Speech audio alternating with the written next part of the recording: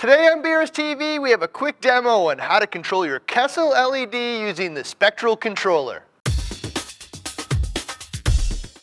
Hi, I'm Ryan, host of BRS TV How To's. This week we're going to cover Kessil's new controller. Kessil's one of the most popular lighting options out there because of the unique color spectrum, single point shimmer, ease of installation, and controllability.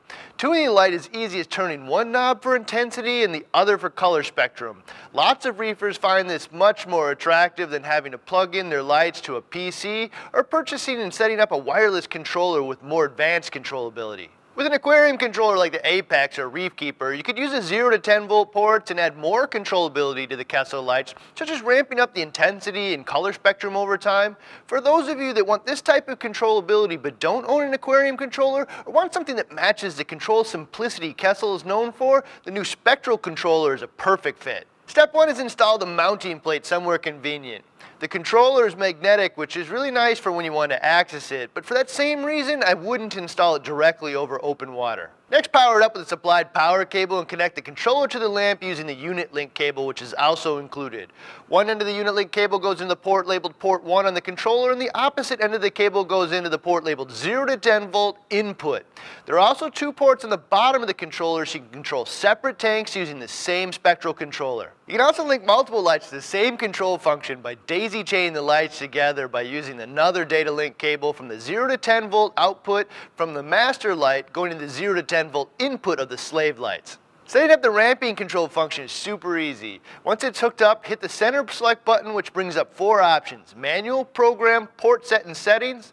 First navigate to the settings tab and hit the center select button twice which will allow you to set the time and date. After you have the time and date set, use the upper right button to back out to the menu options again where you can select the manual tab. Hit the center select button to navigate to port 1 and hit select again. Now you can try adjusting the intensity and color spectrum using the two slider bars and arrow buttons on the spectral controller. Really this isn't much different than the two knobs on the light itself, but it's nice to get a reference point for how this is going to work. To start setting up a control cycle for the light, hit the Programs tab and open up a quick select box. There are six time spots you can ramp the lights up and down.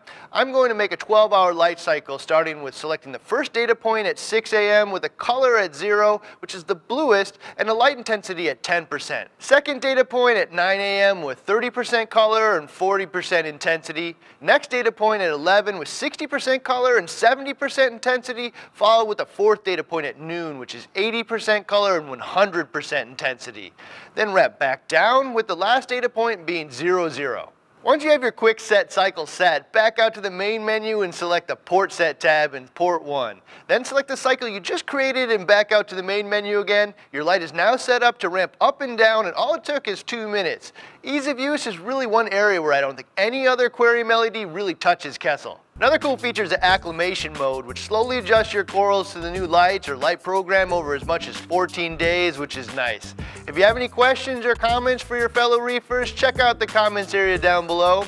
If you haven't already, hit that subscribe button because we do this twice a week. See you next week with another episode of BRS TV.